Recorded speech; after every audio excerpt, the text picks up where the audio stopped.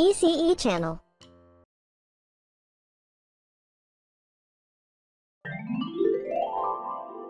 Kể chuyện bé nghe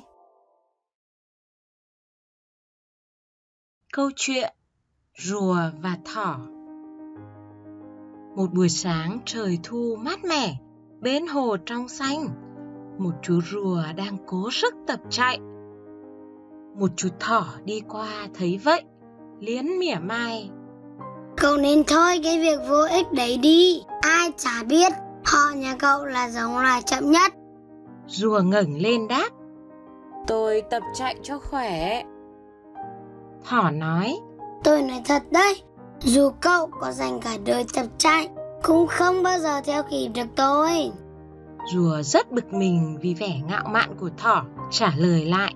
Nếu vậy, tôi và anh thử thi chạy xem ai trong chúng ta sẽ về đích trước. Thỏ phá lên cười, bảo rằng Sao cậu không đủ sen thi cùng ý? Chắc chắn cậu sẽ thắng. Rùa nói chắc nịch, anh đừng có chế giễu tôi. Chúng ta cứ thử thi xem sao. Chưa biết ai thua cuộc đâu. Thỏ nhíu mày, vểnh đôi tai lên, tự đắc. Được thôi, tôi sẽ cho cậu thấy. Rùa và thỏ quy ước, lấy gốc cây của thụ bên kia hồ làm đích. Rồi cả hai vào vạch xuất phát. Thỏ vẫn ngạo nghễ. Tôi chấp cậu chạy trước nửa đường luôn đấy. Biết mình chậm chạp, rùa không nói gì, chỉ tập trung dồn sức chạy thật nhanh.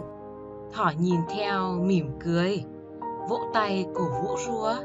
Thỏ nghĩ Giờ mà chạy có thắng cậu ta cũng chả vẻ vang gì Đến lúc nào rùa gần tới nơi Mình phóng lên cắn đích trước Càng khiến cậu ta nể phục Thế là thỏ nhởn nhớ gặm cỏ, hái hoa, đùa vui theo lũ bướm ven đường. Mải chơi, thỏ quên mất cả cuộc thi. Thỏ đang khoan thai nằm lim dim ngắm bầu trời trong xanh, mây trôi nhẹ nhẹ. Bỗng bật dậy, nhớ tới cuộc thi. Ngước đầu lên thì rùa đã gần tới đích. Thỏ cắm đầu cắm cổ chạy miết, nhưng không kịp nữa rồi. Rùa đã cán đích trước thỏ một đoạn đường rất dài.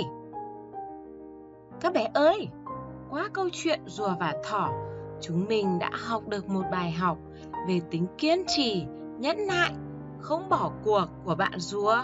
Còn bạn thỏ của chúng ta thì tự cao tự đại, làm việc rất là bất cẩn, thiếu tính kỷ luật, cho nên chú thỏ đã thua cuộc chú rùa đấy.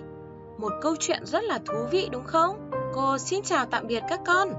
Hẹn gặp lại các con trong những câu chuyện tiếp theo nhé. Các bé nhớ đăng ký kênh Giáo dục trẻ em ECE để đón xem nhiều video hấp dẫn hơn nhé. Tạm biệt các bé.